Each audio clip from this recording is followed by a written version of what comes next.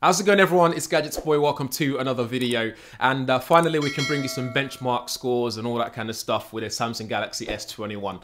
But this one is not just going to be on the S21, we're going to be comparing it to the iPhone 12 Pro, which I've got in front of me uh, here as well. So we're going to be running some benchmark tools on, on both devices to see how they score, uh, they fare against each other. Uh, we're going to go through some of the specifications as well to see what they have in common and uh, where one is better than the other. But uh, without further chat, let's get into it. And by the way, thanks to everyone for watching the Samsung Galaxy S21 impressions video. The video did really well, and I hope uh, we can keep smashing it like that on the channel. but yes, let's get on with it and see what they're all about.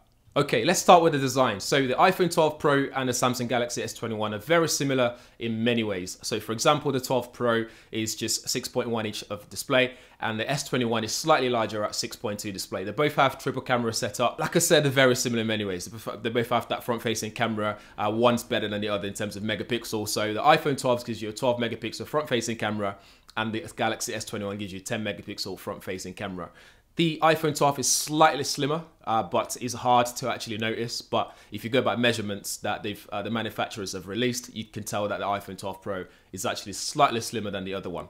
The Samsung Galaxy S21 though is very is much lighter than the iPhone 12 Pro. But you don't notice this unless you're actually using it on for a prolonged period of time. But just picking it up off a table, you won't really notice it just by picking it up. But if you're using it for a long period of time, you start to notice that the iPhone 12 Pro is actually slightly heavier than the Samsung Galaxy S21. In terms of display resolution as well, what you notice is the iPhone 12 Pro actually edges slightly better than the Samsung Galaxy S21, which is quite uh, kind of disappointing uh, just because uh, the iPhone 12 Pro offers more pixel on the display itself than it does the S21. Last year, we on the S20, we had a better display in terms of pixel, uh, so it's kind of a step backwards in that sense, but Everyday usage, you don't really notice much difference. Like I said in my previous video, the time you notice it is when you start to take higher resolution resolution images or you viewing them, you can actually pixel peek and actually see where uh, there's discrepancies in terms of that. So for that on, it, on the 12 Pro, you're looking at 1170 by 2532 pixels. And on the Samsung Galaxy S21, you're looking at 1080 by 2400 pixels.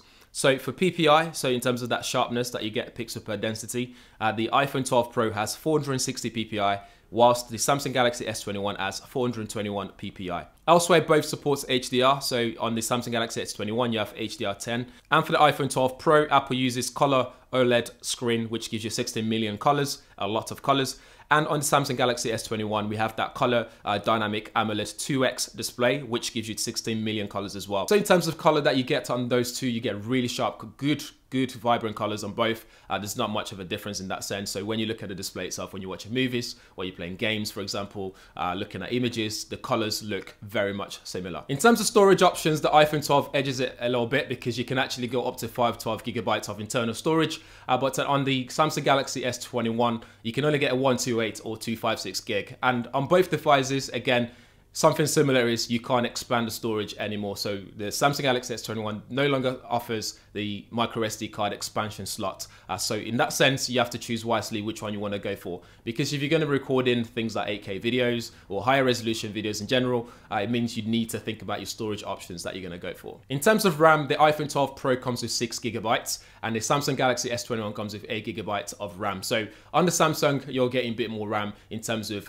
opening, uh, helping you to open multiple applications at the same time, opening them, closing them, and going back to to access something that's running in the background that multitasking capability might just edge a bit forward when it comes to Samsung Galaxy S21. In terms of the battery size, the Samsung Galaxy S21 offers 4000 mAh battery and the iPhone 12 Pro gives you 2815 mAh. So what that means for you is basically the Samsung Galaxy S21 lasts longer than the iPhone 12 Pro. And in the real world test, uh, from my experience so far, I've been getting more than a day, uh, well, a day and a little bit on the Samsung Galaxy S21 whilst the, the iPhone 12 Pro does not last me the whole day. By the time it's 8 p.m., it needs charging again, depending on my usage. In some cases, when I use it really hardcore, by the time it's 5 p.m., 6 p.m., I need to charge my phone again to use the iPhone 12 Pro. But the Samsung Galaxy S21, in my experience so far, I'm getting a good full day out of, out of it without worrying about charging it at all. Also back on that display, obviously the Samsung Galaxy S21 offers 120 Hz uh, refresh rate, whilst the iPhone 12 Pro does not give you that level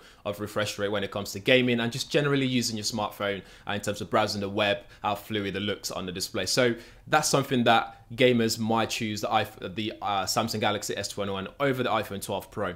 In terms of graphics processor in there, so the Samsung Galaxy S21 runs a Mali GPU, so that's a G78MP whilst the iPhone 12 Pro has its own Apple's own designed uh, GPU in there with that A14 Bionic processor in there. Talking about processing power as well, the Samsung Galaxy S21 has the latest Exynos 2100 processor chip in there, which is 5 nanometer. And in terms of uh, quality, in terms of processing power in there, we'll put it through the GP, uh, some benchmarking tools in a second so you guys can see how they actually fare against each other in that sense. In terms of the camera on both devices, they're very similar in so many ways. Again, they have they both have triple camera setup. So on the iPhone 12 Pro, all the lenses are 12 megapixel cameras uh, lenses each, and on the Samsung Galaxy S21 though, uh, what you get is on the telephoto lens is actually 64 megapixel. And from my experience as well, taking photos out and about with both devices, the Samsung Galaxy S21, in my opinion, looks better in terms of photography. And when it comes to video, the iPhone 12 Pro looks much better. However, the Samsung Galaxy S21 offers that 8K video shooting, so you can shoot 8K at 24 frames per second, something that iPhone 12 Pro can't do. So if that's something that really matters to you, then you need to look at the Samsung Galaxy S21 in that area. Otherwise, I think if you're a video person that loves to make videos, I think the iPhone 12 Pro looks better in terms of video in my opinion. Uh, but if you're looking to shoot a lot of stills, the Samsung Galaxy S21 looks better in my opinion. But you guys decide. I'll leave some examples on the screen for you guys to look at. And I'll also upload them to my Flickr account, so do check them out as well for higher resolution. Now, onto that speed test. So let's see how this fare against each other in terms of speed and performance. We're going to use some benchmarking tools and some basic loading applications and all that kind of stuff as well, just to see how they perform against each other. So let's start with the basics, which is loading applications and see how quickly they load. So at the moment, there's nothing running in the background. So that's the iPhone. And on the Samsung as well, there's no apps running in the background. So this is uh, freshly restarted as well. So uh, there's nothing running. It's all fresh uh, from loading up as well. So they both have the Wi-Fi on and 5G uh, as well where I am in my location, which is great. Uh, so let's start with Twitter. So if you can see there, the Samsung slightly just loaded slightly faster than the iPhone there, but again, in the real world, not massive in terms of differences there. Let's load up Instagram. Very similar again, as you can see there. Put that away. And then maybe we load Lightroom, which is a bigger application in terms of graphics and all that stuff. Okay, so again, very similar, not massive in terms of differences.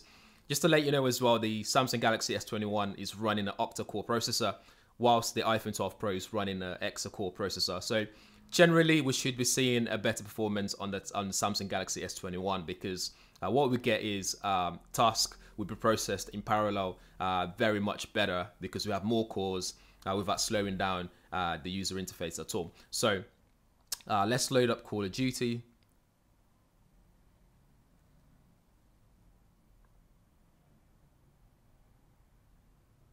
Oh, looks like the iPhone 12 Pro uh, loads uh, a little bit faster there than it did on the Samsung Galaxy S21. And you can see they're still loading. So maybe, yeah. But once you get that past the first introduction stage, um, let's go back there. Once you go past that intro stage, the Samsung Galaxy S21 uh, showed up that login screen very much faster than it did on the iPhone 12 Pro. So overall there, I'd say the Samsung Galaxy S21 uh, pretty much takes that one home. Okay, should we load Google Chrome?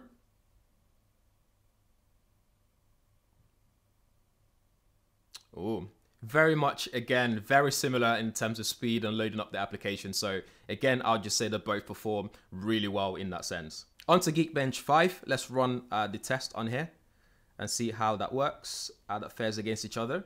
Okay, testing out the Geekbench 5 score on both devices, we can see a massive gap between the two devices here, which is quite surprising as well, or maybe not so surprising. So what we have is on the iPhone, a single core uh, test on the Geekbench score here looks much better than it does on the Samsung Galaxy S21 and the multi-core as well. I believe the single core is actually more important for the consumers like yourself that's going to be buying the smartphones, uh, which means the iPhone 12 is actually better in terms of performance here than the Samsung Galaxy S21 that's running uh, Exynos 2100 processor. So Again, this are just benchmark scores and scores and numbers. Uh, in the real world, you hardly notice these differences in my opinion, but time will tell on a long period of time when I use it for a bit longer uh, to actually use that for my final review and if in a couple of weeks or so time. When we look at Antutu benchmarking tools though, the results are quite mixed here. So uh, when we look at the iPhone 12 Pro and the S21 here, so CPU performance is better according to this on the Samsung Galaxy S Galaxy S21. When we look at the GPU performance as well, the GPU is better on the iPhone 12 Pro. And then when we look at the memory performance, because we do have that UFS 3.1, I believe, on the Samsung Galaxy S21, is much better in terms of read and write into your memory and storage and all that kind of stuff. So uh, it's a bit of a mixed uh, results there, as you can see, compared to uh, the Geekbench 5 scores. If you're into your benchmarking tools and scores and all that kind of stuff, then do with that information what you will. But even with Antutu benchmarking scores, you can see that the differences between the two are very slim as you can see on there. Maybe the iPhone 12 Pro Edge is just a bit better when it comes to graphics performance, uh, but again, in the real world, they both perform just as good as one another. Especially on the Samsung Galaxy S21 where you get that 120 Hz refresh rate. It means when you're playing Call of Duty, for example, it just looks much better in my opinion. But it's entirely up to you which one you go for. In terms of screen on time, because I know a lot of people ask about screen on time, was it SOT, was it SOT? Uh, but in my opinion, I don't believe in screen on time because it doesn't often doesn't match up with my actual real world experience. For example, the iPhone 12 Pro is now showing me a lot of screen on time, like 8 hours, 14 minutes here, but this actually won't last me the whole day. Compared to the iPhone, compared to the Samsung Galaxy S21, where the screen on time here is currently showing me 1 hour 14. So you can see the gap between the two, but the S21 will last me the whole day with 20% left consistently. One more thing worth noting as well is the Samsung Galaxy S21 has a fingerprint sensor. So in this day and age where we have to wear masks and stuff to get everywhere, uh, that comes in very handy compared to the iPhone 12 Pro. But what they both have in common is that Face ID unlock. And on the iPhone 12 Pro, it works consistently and faster compared to the Samsung Galaxy S21. So I'm actually glad uh, that they've included uh, the fingerprint sensor on the, on the Samsung Galaxy S21. Otherwise, it'll really annoy me. Starting with locking them up. So if we just unlock both devices, as I'm looking at the uh, the sensors, the iPhone's unlocked straight away, while the Samsung face doesn't even match. So you can see there straight away that the iPhone 12 Pro just works better in terms of Face ID uh, unlock compared to the Samsung Galaxy S21. Anyway, that's it for the Samsung Galaxy S21 versus the iPhone 12 Pro. As always, guys, let me know what you think in the comments below. If you have any questions, uh, drop them there as well. I'll do my best to answer them for you guys. I'll leave all relevant links in the description area as well so you can do further research into these devices if you wish to do so. Uh, but in the meantime, if this is your first time on the channel, please do subscribe. Hit that bell notification as well so you'll be one of the first people to know every time there's a video up on the channel. Thanks for watching. I'll see you guys in the next one.